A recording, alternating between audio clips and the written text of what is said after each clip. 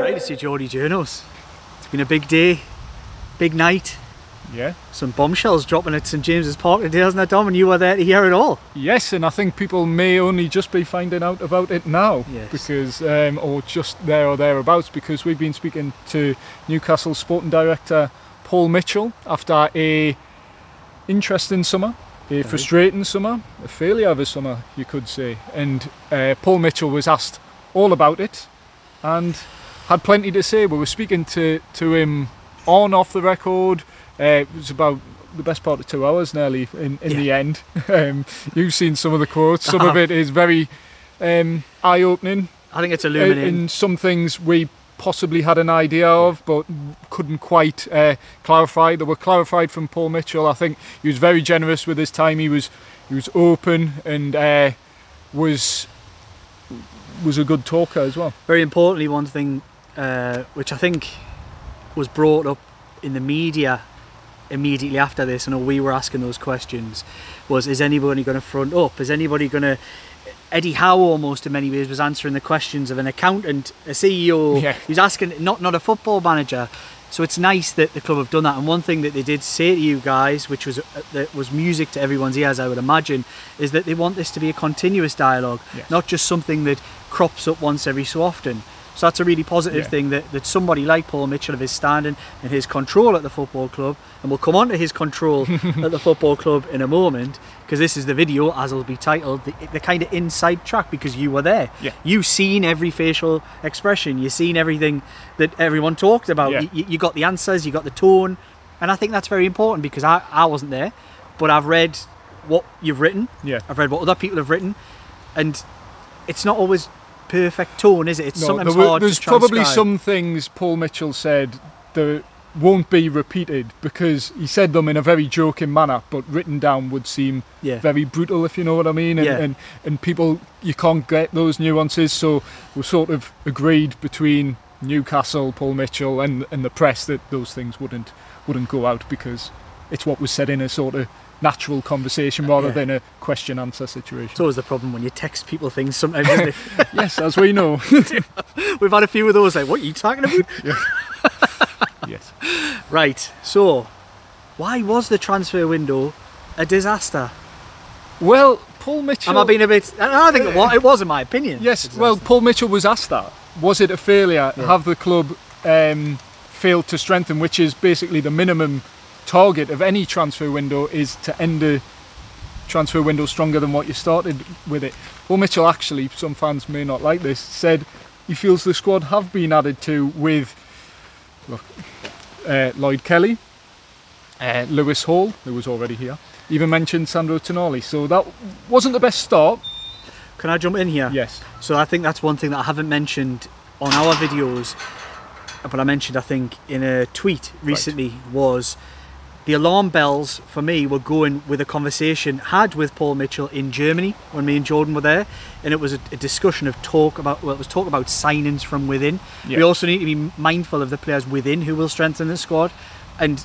You, tr- you try not to worry too much, but there was a little alarm bell went off in my head Yeah. when I heard that, thinking, I think I've heard this before, and it might be someone like Alan Pardew or Mike Ashley, one of his cronies, Yeah. has said something like that before. Yeah, and that's what the transfer window sort of it regressed to. It reminded us, unfortunately, Yeah, of previous eras.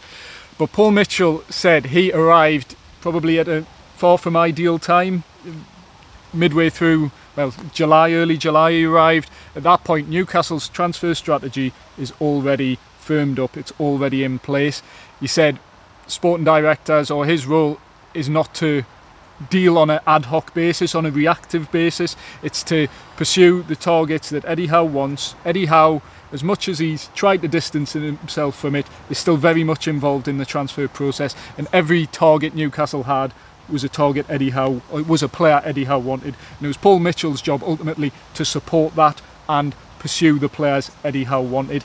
And Paul Mitchell was open in admitting, which I think is the bombshell, that Newcastle did not have really the recruitment structure in place. This is three and a half years, or two and a half years, three years after the takeover, to basically look at alternatives to to the big one. He didn't name him.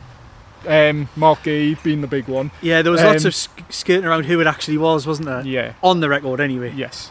But yeah, Newcastle, he basically said, questioned is the recruitment, is the scout network fit for purpose? That's his job to look at and make sure it improves in future windows. And that supporting role that he played, he's like obviously tried to distance himself from having a super hands-on direct Yeah. involvement with the window that's just gone. That supportment role will hopefully in future windows develop into more of a driving role. But he said three people will spearhead that. It's him, uh, it's Darren Eales, the CEO, and it's Eddie Howe. So I, I thought it was really interesting. I read sort of haven't read every single word, but the, what I took from it was that was Eddie's window, and that was Darren Eales' window, and that was what was set in place by Amanda Miata, whoever it was beforehand. That was their work. But from now on, you're going to see my work. That's kind of what I read Yes. between the lines of, of what he was saying. That's what it seemed to be. Yeah, he, he you could tell his, his frustrations were there. It was he said he described it as a sort of learning curve for him. He, he came in and the setup of the club was was not necessarily used to, um, not necessarily what he was used to, and now he had to basically just go right. I'm here to support what you've put in place. Whether you could argue, as sporting director, he could have done more. He could have done more to convince Eddie Howe to sign certain players or looked at certain players, but then he, it, that went back to I didn't feel like recruitment. reading what he said. You were there, you heard it, but reading what he said, I didn't get the sense that that was what he was suggesting was the case. I, I thought it was almost like he, he he talked a bit. Was it on off the record where he talked about the idea of what a sporting director does at a football club?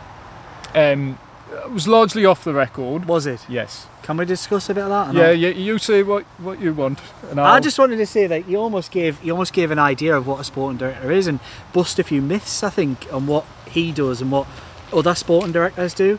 And it seemed very much like it was he's the man who would go out, find a certain pool of players, come back to a manager and present it back in a bite-sized manner. So he might have 70 players that he looks at, skirts it down to about 10, then gives it gives five to the manager and says, "There's A, B, C, D, and E." Yes. And what which one do you like? Do you like this? Do you like that? They all fit the criteria of the way that you want to play football.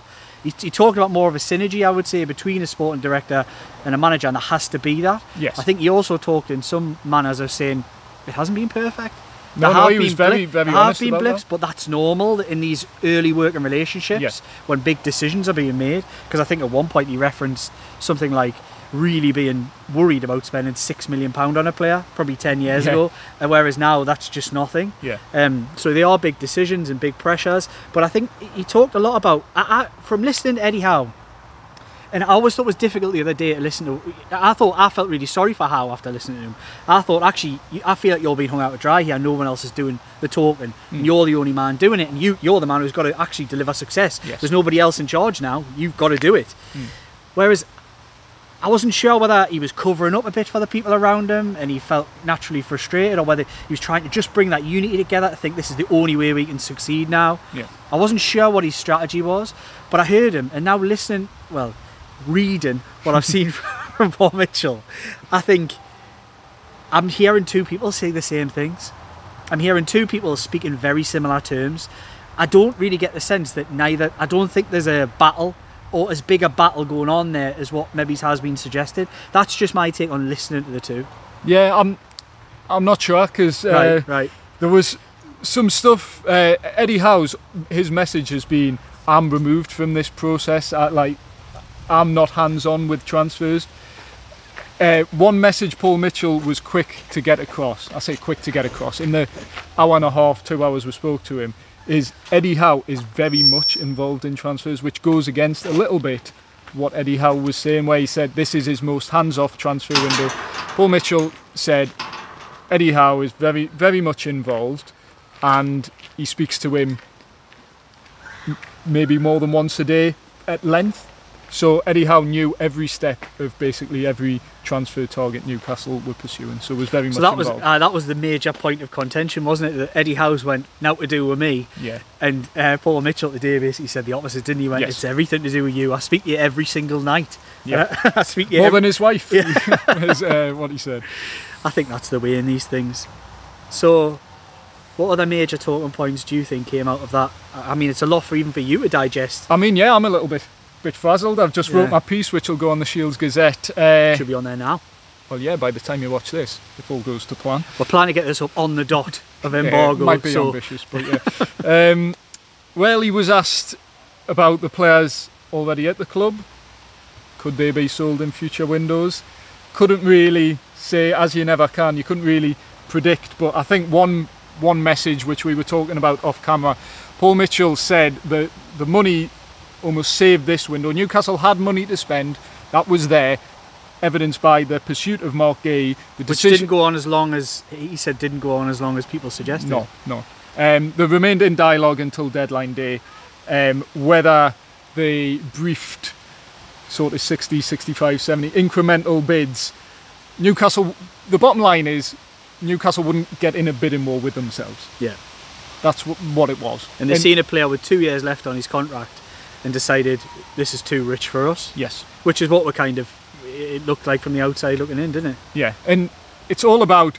Paul Mitchell said his his role is to strategize and think about the long term or the medium to long term. It would have been reactionary to not get Marc Guéhi and just go out and sign a player, in alternative, without that, like we've touched on, extensive recruitment network in place where Eddie Howe was absolutely sure that uh, an alternative was the right man for him. It seemed like the, Just, I'm laughing Yeah, this guy I'm doing, a, to- doing a 17 point turn line.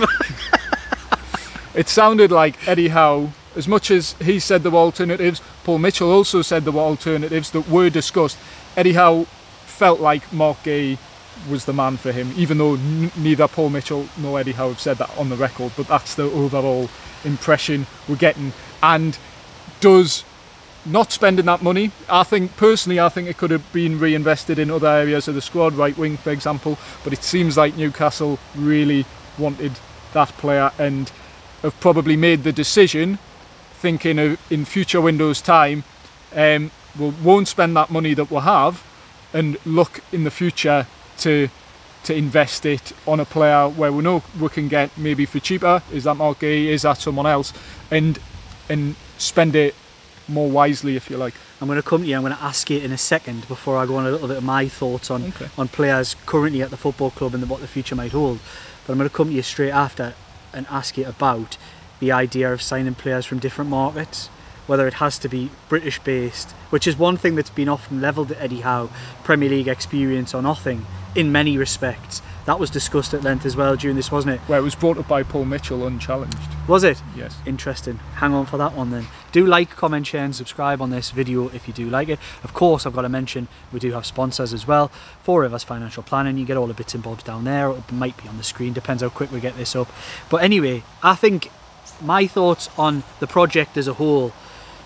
I think one thing that's probably come into my realization, having read the stuff from Paul Mitchell as well, is it's been a real summer of realization for me as not only a journalist but as a fan. I think we all knew this project could take time. I don't think anybody realised it would probably take as much time as people are now saying. Yeah. I think I, I'd built in my head, and this you don't have to do this. I could be totally wrong, but this is my opinion. I built in my head thinking there's probably three players in that team where you wouldn't swap them. They're absolutely perfect for this team. Alexander Isak, Bruno Guimaraes, uh, Anthony Gordon. You wouldn't swap them for anybody. You could put Yeah. anybody on the table, and I'll probably keep those because they're ours and they they they love it here and that's whatever, and they've played well for. it. I've now come to the realization. I think when this club eventually does reach where it wants to go, I don't think any of those players. I, I, th- I think it might be a push to say anybody in this squad is actually at this football club.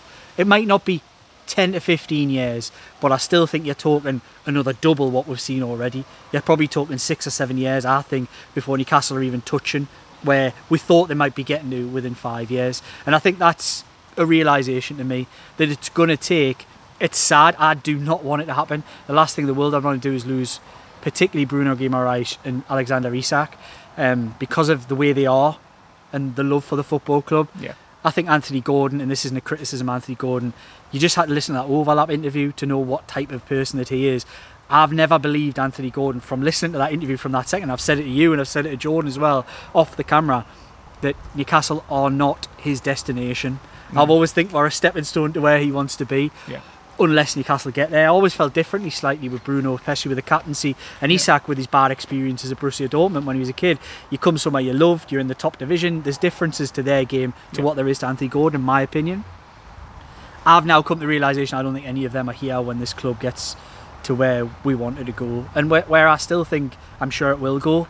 Yeah. I just just think, and there's going to be some old viewers out there who'll be really disappointed about that analysis because they'll be like, bloody hell, man, I wanted it in my lifetime. I want it in my lifetime as well. and I don't think it'll be that long, fingers crossed. I don't, I don't think I'm going anywhere. Yeah. But that's the thing for me is it, it's been a summer of realisation that the rules and the constraints on English football and European football are not going to allow Newcastle United to accelerate the way that we really hoped they would. And I think everybody hoped, oh, they'll find a way. I think it's slowly becoming apparent there is no way. It, this is the way you have to go, and it's going to take a while. And it's selling. Until you sell, you can't have a Brighton summer, where they're Yeah. the top spenders. Until you sell, you can't do what Aston Villa did a few years ago, or West Ham West Ham, have yeah. done with the Declan Rice thing. Until you do that, that wasn't saying Aston Villa now because they're in the same situation as Newcastle United, but when they sold Jack Grealish, they've go out and sign players. Oh, there's a win. We still haven't got that tripod. So do if you can see the thanks button down there, and you want a tripod for the Geordie Journos. So anyway, I was going to come on to that. Uh, No. The idea of unless you want to have a comment on that one. No, yeah, because I think it goes to a lot of what Paul Mitchell said. He said Newcastle haven't been a good selling club, which I think everyone knows. The, the, the player sales are going to be a big part of Newcastle's future, whether you like it, whether you like it or not. And I think these players, your, your Brunos, your Isaks, your Gordons, your, your big assets, the fact Paul Mitchell's saying, look, he's, his message was one of patience, one of the PSR sort of scare, if you like, and the whole situation surrounding that has probably put Newcastle back two years, three years even.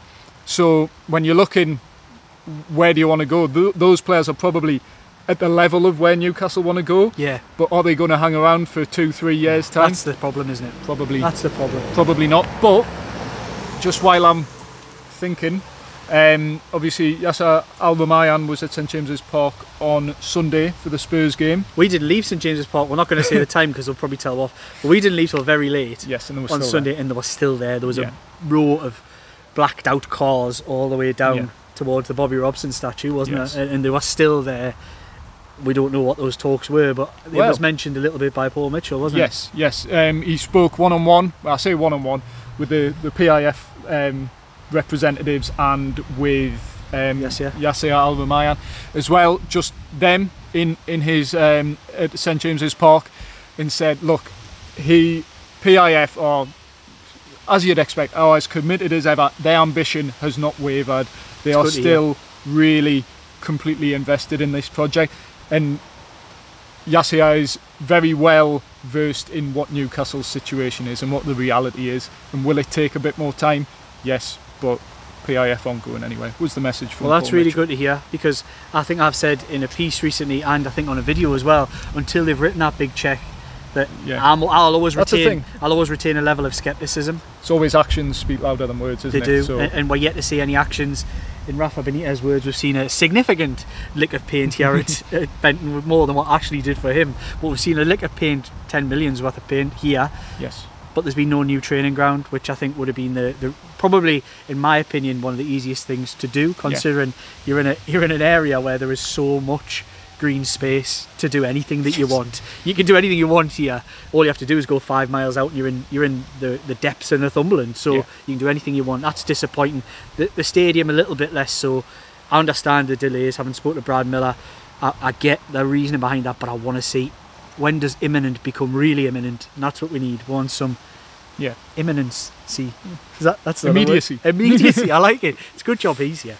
Anyway, No, to go back to your point you made probably five minutes ago now, in terms of do Newcastle United need to venture further than the Premier League? That was something Paul Mitchell said himself. It wasn't. It was asked later on, but he said we need. We were too narrow in our thinking. Yes, yes, we probably I did say were. that, yeah, yeah. And um, do do the club need to broaden its horizons globally? Yes, and and that's something. Is he going to get the power to do that? Did he say anything? Does it feel like that's what's going to happen? I'm not sure. Right. That's that's the that's the worry. He said, look, his role will change from being a supportive role to more forward thinking, more driving role in Yeah. future windows. But you can never tell how future windows would, Yeah. would play out and yeah. I imagine it would, but he, he would never he wouldn't quite commit to, to saying that he would take full charge of the transfers because he said it's a it's a holistic process. It's Eddie Howe, it's Darren Eales as well. I think it sounds more like you'll take control of the process from when it starts. So the strategy will be more his yes, kind of he thing gets involved. He's from the very now- start. well, he he's his job is to look at that recruitment and all these things he's highlighted as as issues are there. f now he has a few months to address before the next transfer window in January. Will the club be able to set up a recruitment network that they ultimately haven't been able to set up in two and a half years? I think that might take time, yeah. but Did he give any time scales? Because he, he the only timescales were three to five years potentially, and the the PSR situation, which people might not like, has probably knocked the club back from the point of takeover, where you go in five years' time. This is a five-year plan. Um, it's probably knocked knocked that back a few years. what people might be wondering out there, and you might not be able to answer it because it might not even be a question for Paul Mitchell. But did you get any sense whether that money would be passed across to January and they go again when the window reopened, or was there no chatter of that? Um, not on the record, no. Ah, Um, okay. It's it's one of those where Newca- um, Paul Mitchell said it's this saving of money this window and not spending the money that was there will help Newcastle in one, two, three windows time. Yeah. So, look, there was money to spend, but Newcastle don't want to be in that PSR situation they were in June again, which I think look is, is sort of scared the club to death, really Yeah. by uh, for want of a better word. Um, and okay, there's 70, 80 million to spend this summer. That money was there, but are you better saving it and spending 150 200, million next next summer and, uh, and getting a few player sales and getting real, real quality rather than just getting players who are almost stopgap players. Interesting, interesting. Be interested to know your thoughts. Do jump in the comments and let me know what you think of Yeah, the Paul let, us know because there'll be a lot. I've come pretty much straight from Paul Mitchell. There'll be a lot that Paul Mitchell said that may have gone over our heads Yeah, right yeah, now yeah. as we're trying to remember it. So comment anything that you would have wanted Paul Mitchell to answer, and I'll let you know what he said. Yeah, Dom will be in the it. comments tonight and he'll answer your questions if you've got any questions about that, and I'll try my best as well if I can. Right, is there anything else you think maybe off the.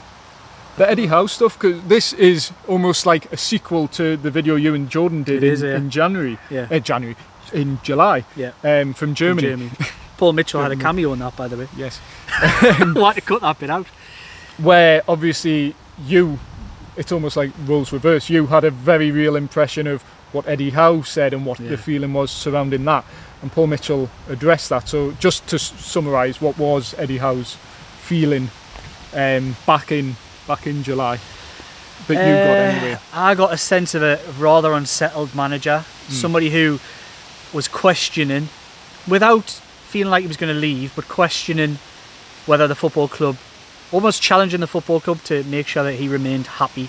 And I always got the sense he was saying, "This is what I want. I want this football club to run like it did." And I got the sense again, reading between the lines and paraphrasing largely, is that it worked before. Why are we? Why are we ripping up the rule book and Yeah. starting again? So I, I think he, he was never critical of Paul Mitchell. He was never he was he was actually really positive about Paul Mitchell, really positive about James Bunce and others uh, who'd come into the cup football club and changes that been made, but did challenge the football club to say, "You need to keep me happy." That Yeah. was that was the, and- and that, that was very much. I took it from being in that room, talking about transfers, talking about power, uh, the dynamic, whether he would have final says, and because a lot of this transfer stuff over the last two year, uh, last two and a half years has been driven by Eddie Howe, um, from the very off, with a really big helping hand from the likes of Amanda and Mehrdad, who, like I say, held Eddie's hand all the way through it and worked tirelessly, particularly in that first window, to establish a relationship that stayed strong and true all the way till the day that they left the football club. Um, that all changed. That got the rule book got ripped up in the summer, and I don't think Eddie Veer was very happy about it. As Yeah. many people, you know what? You speak to plenty of people, nobody was happy about it really. But I can, and I wasn't happy about it because I thought they were great. You know, I really did. They, they're really they've been good to me in the past, um, and I was disappointed to see them go. But I could also see the reasons why they were they were let go because a, a football club has a, has to function, and it was chaotic at times. But there were reasons for the chaos, which we're not going to go through all of that again. But I think Eddie Howe was unhappy the change had been implemented, and I think he was laying down his marker to say, "This is the way we do things, and that's what I want." And it sounds like the club have He got that? basically done that. Yeah, yeah. Um, Paul Mitchell was asked, "Are, are the, or is the dust settled basically on that situation?" And I think all the staff are leaving that. Yeah. I might say anyhow. Uh, probably not. Um, so yeah, the dust is, settled on that situation. Um, Paul Mitchell said, look, his job is to ultimately help keep Eddie Howe happy. He said, at the moment, I say we'll see Eddie Howe.